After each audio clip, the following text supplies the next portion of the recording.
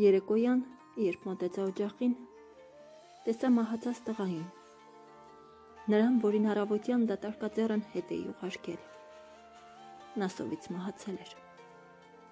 Թվում էր, ես էլ երբեք չեմ կարողանա ժպտալ։ Մարիա Յակոբսեն, Դանիացի միսիոներուհի։ Կին, ով հազարավոր հայ մանուկների փրկեց։ Կին, ում այդ երեխաները մայր էին կոչում։ Նա իր ամբողջ կյանքն ու գործունեությունը նվիրեց հայերին։ Մարիան 1907 թվականին եկավ Խարվեշտ։ Դերատի միսիոներուին աշխատում էր ամերիկյան փոքրիկ հիվանդանոցում։ Կարճ ժամանակում բնակչության հետ ազատ շփվելու համար նա սովորում է հայերեն։ Հենց նույն ժամանակից էլ սկսում է իր օրագիրը գրել։ 1907-ից 1919 թվականներին Մարիայի գրած 600 էջանոց օրագիրը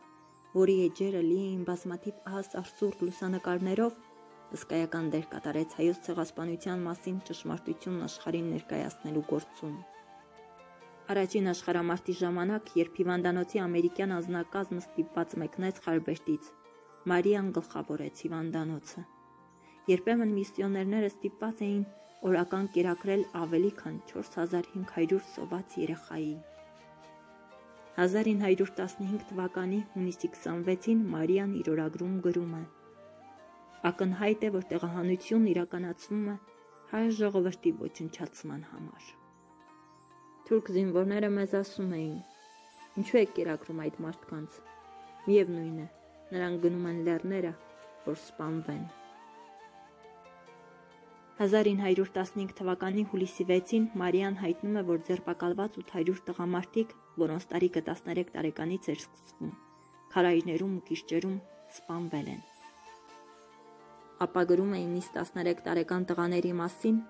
որոնց տարել էին մսկիթ եւ այնտեղ սպանել։ Մի ամբողջ տարի մենք ապրում էինք վախով, որ բոլոր երեխաները կմահանան սովից։ Ամեն օր սոված երեխաների նոր խմբեր էին հավաքվում դրան մոտ բայց ես էլ ինչ կարող էի անել։ Ես էլ նրանց կերակրելու բան չունեի։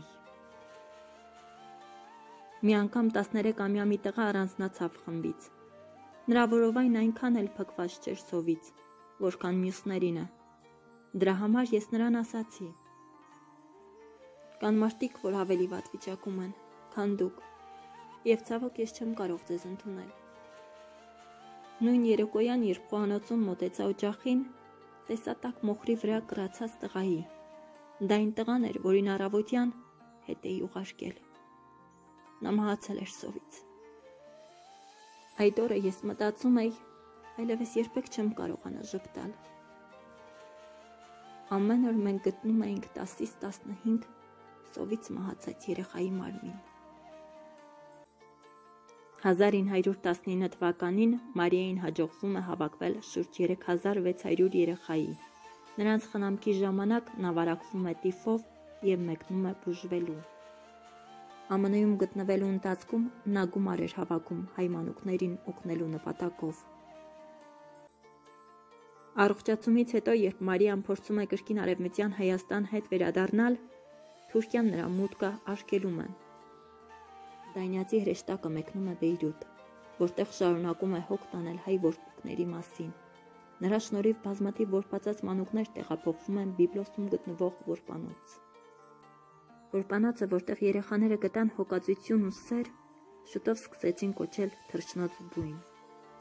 Այստեղ Մարիան ամուսնանում է հայի հետ եւ որտեգրում 3 հայ երեխայի։ 1960 թվականին Մարիան կնքում է իր մահկանացուն եւ կտակի համաձայն հուղարկավորվում է մանկատան Բաքում։ Մեծ մարտասեր ու մեծ հայասեր։ Ճանաչենք, հիշենք, երախտապարտ լինենք։